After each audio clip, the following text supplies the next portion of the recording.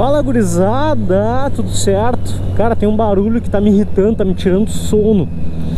Parece um barulho de moeda batendo. Provavelmente algum parafuso solto Ou essa porcaria aqui que ajusta o, o fio do... o fio, o cabo da embreagem, não sei.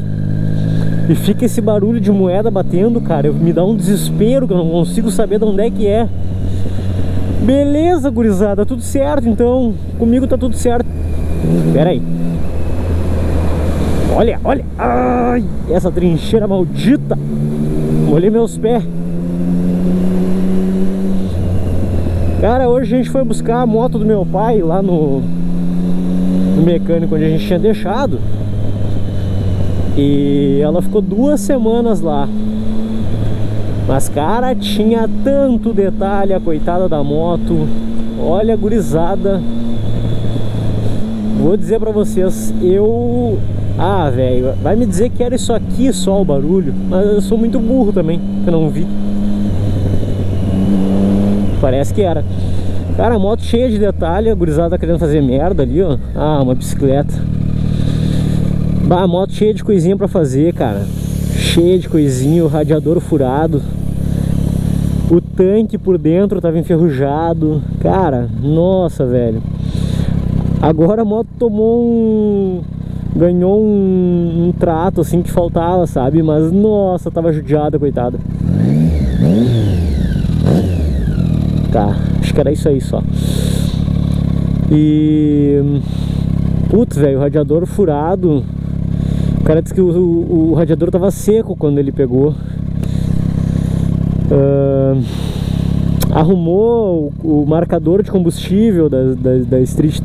Cara, as Street, Ducati e tal, elas têm esse marcador específico que dá problema, velho. É um circuito impresso. E assim, velho, acho que é uma das coisas que mais dá problema nessas motos é a marcação do nível do combustível. Não influencia em nada no funcionamento da moto, não acontece nada. A minha nem, um, nem a luz do motor acende, a do meu pai acendia. Mas, cara, é, é, complicado, tá ligado? Porque não tem nem a mangueirinha pra tu saber quando tá na reserva. É tipo assim, ó, quando... quando é, é, o que que acontece? Ela, ela não marca os níveis, ela simplesmente marca tanque vazio.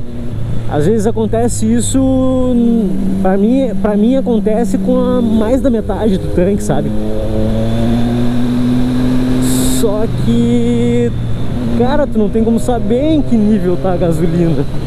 Tem que saber mais ou menos quantos quilômetros a tua moto faz com o tanque contando ali. E aí tu não sabe, é perigoso né, assim, tá ligado?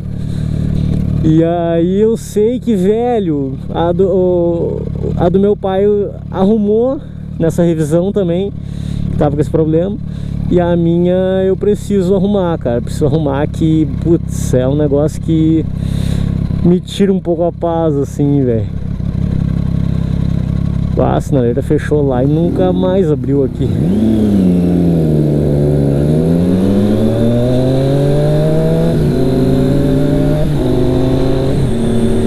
Mas assim, cara, uh, o, o cara ficou com a moto duas semanas e tipo assim, meu pai não tinha pressa, sabe? Ele consegue trabalhar de ônibus e ele usa só, a moto só pra ir trabalhar, cara. Ele não dá, não faz passeio, não viaja, não dá rolê nenhum. Só pra ir trabalhar e anda muito de boa, só na, na cidade.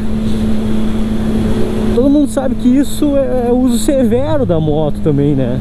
Porque esse tipo de moto, na verdade a maioria das motos, exceto as menores, as motos com motor um pouco maior, com um pouco mais de desempenho, uso severo é na cidade uh, porque na cidade o arranque para é ali que força, é ali que consome pneu, relação, sabe? Esquenta mais, né? Porque o que refrigera ela, além do líquido, também é o ar. E aí se tu anda na cidade, tu... o fluxo de ar é menor. Cara, perdi o motoba. Não dá pra dizer que esses espelhos de ponta de guidão são tão bons quanto os originais, porque a visão fica bem menor.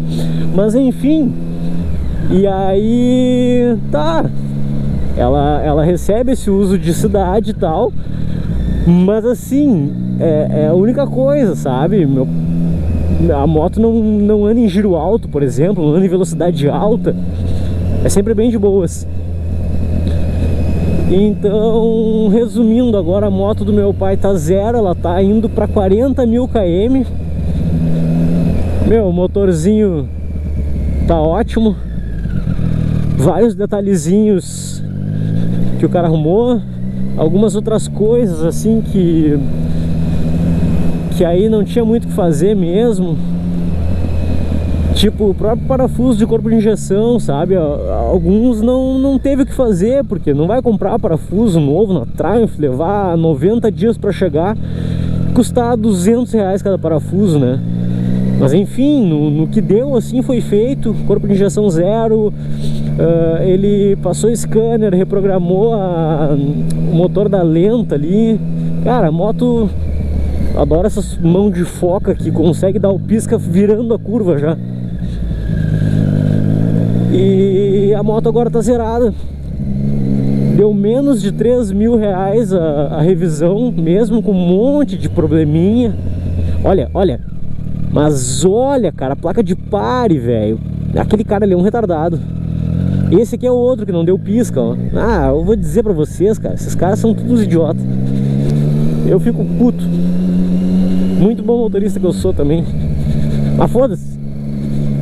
Quando eu tiver a oportunidade eu vou reclamar E é isso aí Quem não gostou, reclama também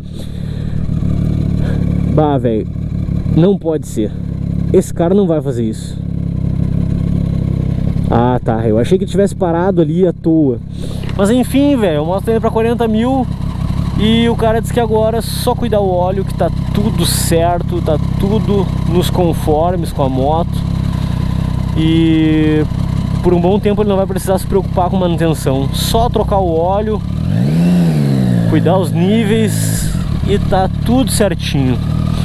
Mas então é isso, gurizada. Muito cuidado, já falei no outro vídeo, muito cuidado em comprar moto de alta, média cilindrada, sem saber a procedência, sem conhecer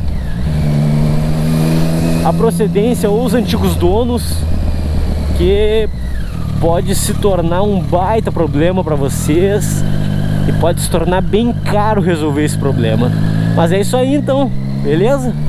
Fechou. Menos de 3 mil para deixar a Street Triple zero. Ah, com bateria nova também, né? Bateria nova, é importante falar. E o furo do radiador consertado. Isso aí, gurizada. Até o próximo vídeo. Valeu!